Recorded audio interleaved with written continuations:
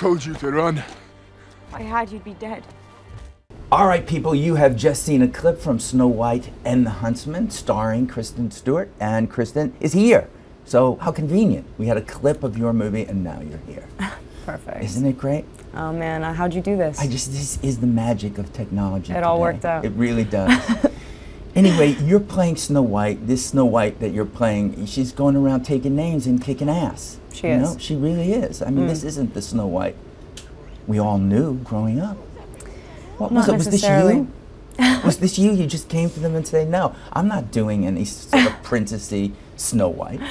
No, no, it was such a good idea. I, I kind of, I, I was so desperate to be a part of it. It had so much potential. I think, I think it's so cool to do an action movie that kicks ass and you've got a mm-hmm. girl in the center of it, but, but, but she's not reveling in the ass kicking. You know what I mean? It's like we, you know, really very just essentially female, very classic Snow White, to be honest. It's just that we put her in a world that's a lot more dangerous and see if she can survive it. And I think it's like eh, much more interesting to watch nowadays anyway. I, I I don't think anyone would have wanted to root for somebody who was sweeping up a house and taking care of dwarves. I think it you want to see someone become that perfect person, not have it so easy. Yeah, I can't see your Snow White singing "Someday My Prince Will Come," and No. off to his castle will go. Yeah. No, not, not my snowy. no, it's just not it. So, who approached you about it? I was doing Breaking Dawn at the time and very unwilling to look at anything else. I, I was so completely caught up in, in Breaking Dawn and finishing, and um, it Yeah, was been a long, it's been a long time. Yeah. First time I met you was 2008. Wow. And you were just starting. Yep, that you was know, it with all. the Twilight, it was beginning Yep. To come into the world. And mm-hmm. look, 100 years later, and you're still finishing Breaking Dawn in the. Twilight Saga. But who would dare interrupt you and come in and say, "I want you to be Snow White"? blasted Universal, that Joe Roth. Ugh.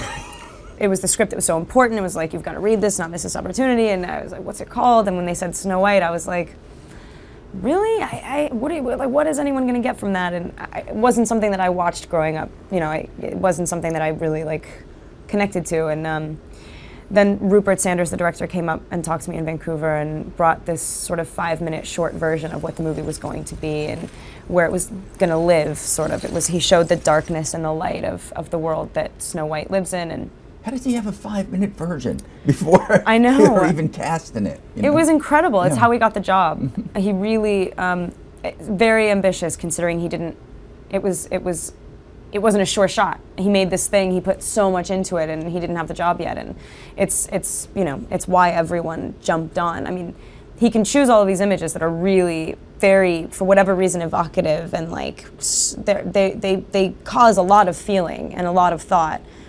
But a lot of visual guys like that kind of stop there. They don't know why. They mm-hmm. can't tell you what they feel. They don't really want to know what you feel. They just want to create those images. He's so aware. I mean, he was just so kind of in love with the story, I guess. It was very important to him to really understand it. He really has both sides of the coin. visual in the sense that he came from the commercial world. Yeah, yeah, yeah, You know, they're usually not very story oriented. It's usually kind of up to you. So that's the way. If people want to come up to you on the street and want to make their first movie, that's the way to do it.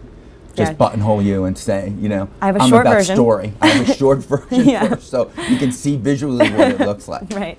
Well, now I heard a lot about injuries for you. Now Mm. you're wearing you're wearing pants and a jacket, so are you covering massive scars? You know, No. I did hurt myself quite a bit. We all really, really like threw ourselves into this. It was like whenever you see us cold or shivering or scared or uncomfortable, we are. It's definitely not being. so it's no acting at all. So me in the role of so critic much. shouldn't give you any credit Nope. for that. It's just you freezing. Give it to the director, man. Put put someone in the right environment, and like it's just as long as you have an imagination, man. It was like I, I think I pulled every muscle in my whole body. I I destroyed my thumb. Looks okay. It's very different to the other one. Is it? Oh, it's yeah. two really different thumbs. So Look at this. It's the it's very Yeah. bulbous at the base, if you notice. Look at that. Pointed here. Mm. You've been completely damaged. You know, Thumbelina is not your next film. it's Nope. just it's not it's not going to happen. No. They tell you this requires you to ride horses and it requires you to do that. Were you one of those actors who say, "Sure, I can do it. I did initially. I was like, yes, absolutely, anything. I Lying. will do anything. um, Anything for a part." yeah. but then when it came down to that last second, and and it was like, okay, sign your name on the dotted line. It's a lot of responsibility. I mean, you, uh, clearly, you should never accept a part unless you think you can. You're going to let a whole lot of people down if if you uh, are not up to the task. And so. yeah. And um, including yourself, obviously, but uh, the horse situation was something that I never got over. It wasn't a, wasn't a case of like conquering one's fear. I was terrified to the bitter end. Like, it's just so not my thing. That dynamic, horse and rider, is it's so I ugh, I don't want to tell this big beast what to do. I'd rather take the saddle off, watch it run around the pasture. I get on the horse and he literally is just like, "Oh, idiot! I'm not going to listen to anything this girl says." You just knew it right yeah, away. instantly. So when did you and the horse finally reach some kind of agreement that uh, even though he thought you were an idiot, Mm. um, that you were going to get through this? Right. Did it ever happen? I think at a certain point he did sort of stop trying to. It was like he was resolved to the fact that I was going to be on him for longer than he would like. Um, so it stopped feeling like he was going to throw me off. Um, I don't know. Maybe maybe that last moment, my last scene, when I was like, "Thank you, Rusty." Never again. Then he was cool with me. And when I was like, I'm never getting back on, I promise. right, going to happen again. I Yeah, won't do exactly. this ever. I would think you would try to treat the horse like uh, directors have treated you. You know, you could have done a David Fincher on him from Mm. Go, "Hey." Panic, yeah, mm-mm, like that. Right. Mm. Sean Penn, you know, and just dealt with what the horse was doing as a character. Right. This would have been hilarious to me to have done, and you didn't. You missed that opportunity. I know. I don't know what's wrong with me. Next, next horse you're going to do it. Snowy just found her way in too much. You know, I couldn't couldn't be the strong arm. Your Snow White's been locked in a tower forever. This Mm. Yeah. is. She hasn't had a lot of good times growing up. No, yeah, few and far between. It's now, funny. Did you to- feel that tower thing yourself? I mean, because you grew up in this business.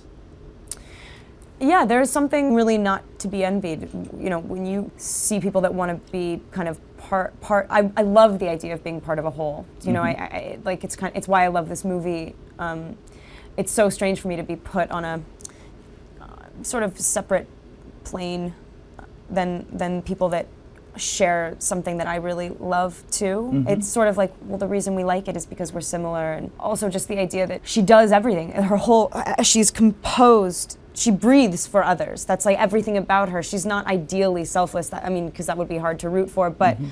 Kind of the closest that you could possibly get to that, yet she's not able to be a part of it. Do you know what I mean? She'll, she'll, she'll never experience what they've experienced. She was locked up for it. Mm-hmm. She'll always be royal. She'll always be kind of young and naive. She didn't, you know what I mean? Just because of those years in jail. And I, that feeling is very, it, it was interesting to play. I don't know, just um, kind of sad and weird, and but, but very defining. And she's very cool.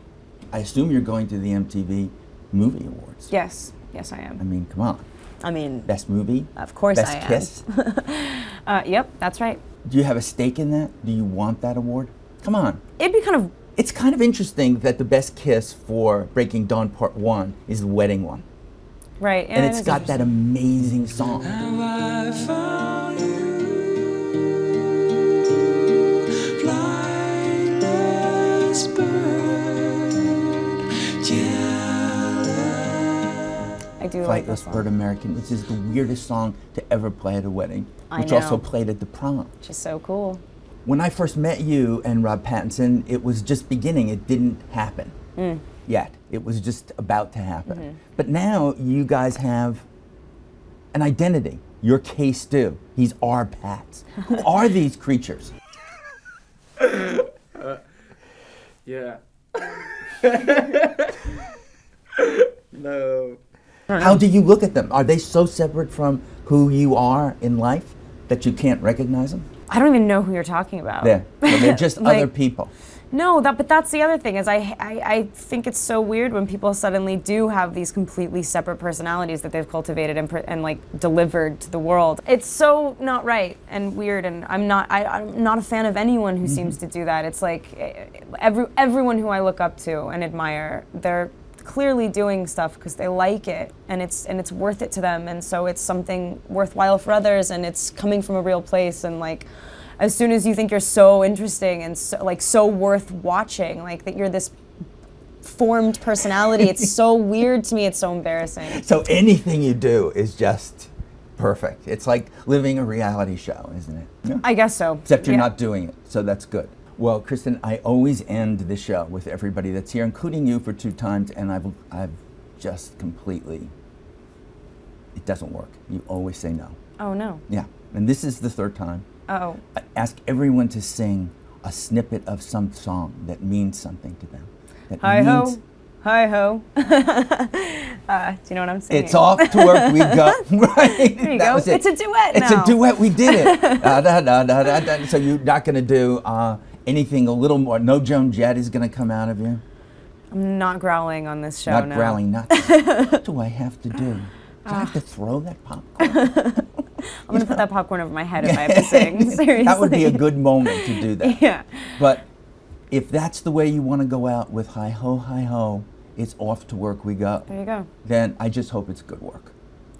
And I'm wishing that for I you. hope so too. Yeah. Seriously. So thank you. Thank you so much. Yeah, thanks for having me. Look at this. It doesn't look. It, feel it. Yeah, it doesn't look edible at all. It's very. Yeah. Oh.